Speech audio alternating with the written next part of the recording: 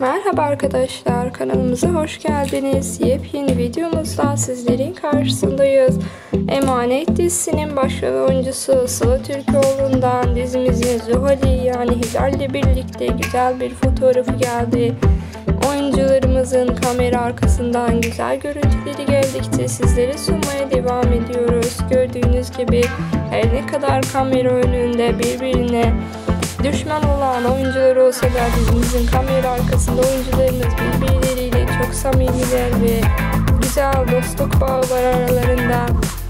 Hmm, rollerini başarıyla canlandıran oyuncularımızdan gelen en güzel görüntüleri sizlere sunmaya devam ediyoruz. Videolarımızı kaçırmamak için kanalımıza lütfen izlemede kalın. Yeni videolarımızda görüşmek üzere. Hepinize iyi seyirler.